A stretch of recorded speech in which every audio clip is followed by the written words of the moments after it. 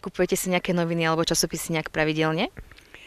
Kupujem nepravidelne, ale som pravidelný čitateľ Žarnovickej eh, knižnice, takže e, odtiaľ si požičiavam časopisy, teraz aj staršie, lebo však e, pokiaľ sú to nie denníky, tak tie sa dajú čítať počas celého roka. No a knihy samozrejme.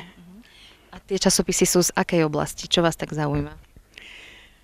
Čo ma zaujíma, tak nejaké ženské magazíny, a potom tie bežné, čo má knižnica a e, e, ja si kúpim aj iné časopisy zdravie, trebárs, alebo niečo z pestovania rastliniek, alebo tak. To už si ja sama proste, čo vidím v ponuke. Takže tiež teda sporadicky, nepravidelne si potom teda v oblasti toho zdravia alebo ostatné? To, to keď e, ma napadne, že je potrebné niečo e, konkrétne preštudovať. Alebo potom knihu odbornú, ktorých aj ja mám doma teda dosť. Mm-hmm. Takže asi také. Aj si teda zvyknete aj objednávať teda tie časopisy, alebo teda si chodíte naozaj iba požičiavať do knižnice? Požičiavať si chodím a takto priebežne si kúpim stánku. Tie, ktoré chcem. A využívate takú elektronickú formu teda čítania nejakých tých novín časopisov alebo teda nejaké informácie na internete? Manžel áno, sústavne.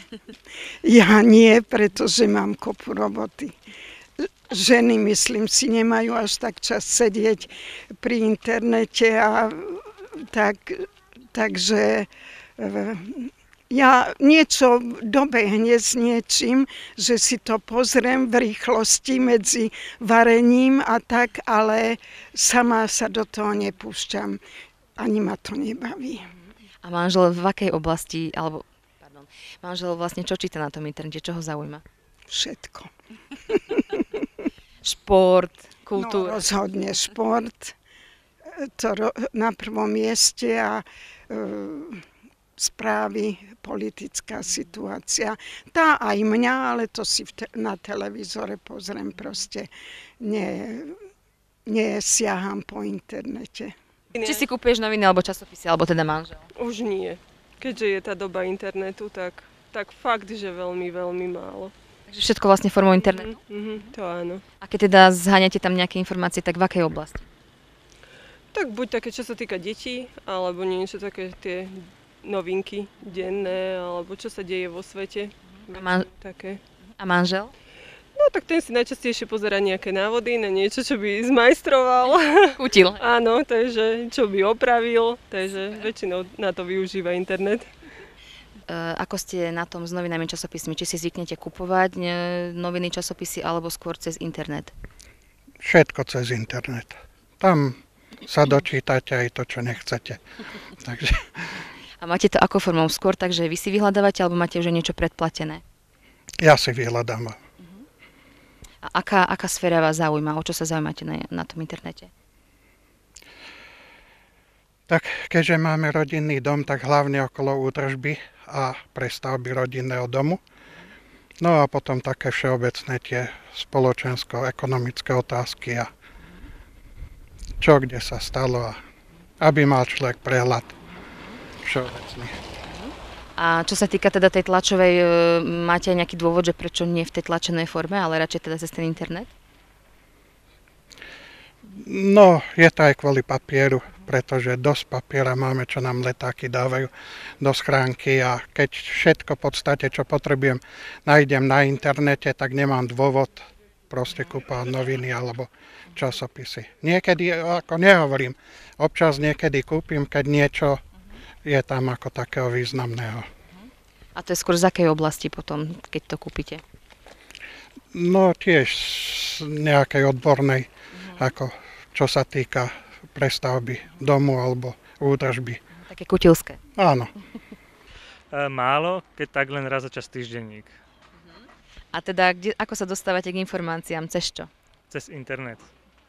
A niečo tam pravidelne odoberáte? Máte, máte niečo predplatené? Alebo skôr tak, že si to skôr vy nájdete? E, mám predplatené, áno.